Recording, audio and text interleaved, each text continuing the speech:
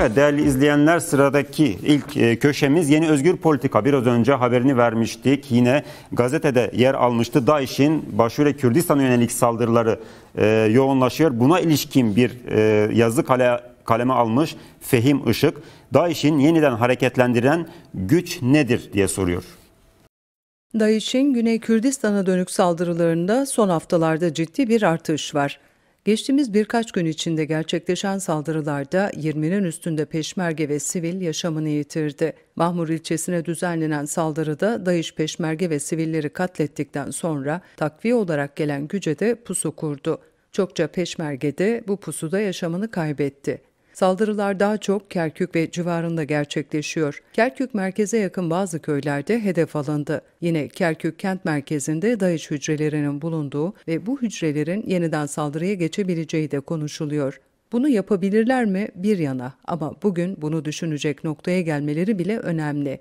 DAEŞ'in Rojava savaşçılarına yenilmesi ve alan hakimiyetini kaybetmesinden sonra yaşananlara bakıldığında bugünlere ilişkin epey ipucu olduğu görülecektir. DAEŞ 21 Mart 2019'da Bahus'ta yenildikten sonra Irak ve Suriye'de yer altına çekildi ve kendini yeniden örgütlemeye başladı.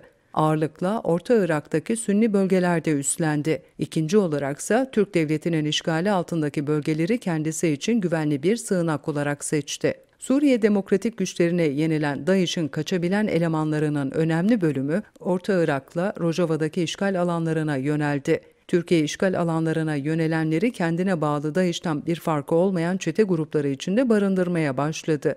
Bunlara ciddi sorumluluklar verdi. Bir diğer etken de Rojava Özerk Yönetimi'nin denetimindeki kamplardır. Özerk Yönetim mahiyetinde ciddi suç işlemiş, emir düzeyindeki DAEŞ'lileri güvenlikli yerlere hapsedebildi. Bunun dışında kalanları ise kamplara yerleştirmek zorunda kaldı. Ne yazık ki Rojava Özerk Yönetimi'nin olanakları bu riskin önüne geçmeye yetmedi. Uluslararası güçlerin DAEŞ'lilerin güvenli bir biçimde tutulmasından yargılanmalarına kadar yeterli desteği vermemesiyle Özerk Yönetimin olanaksızlıkları birleşince bu işten DAEŞ ve Türkiye yararlandı.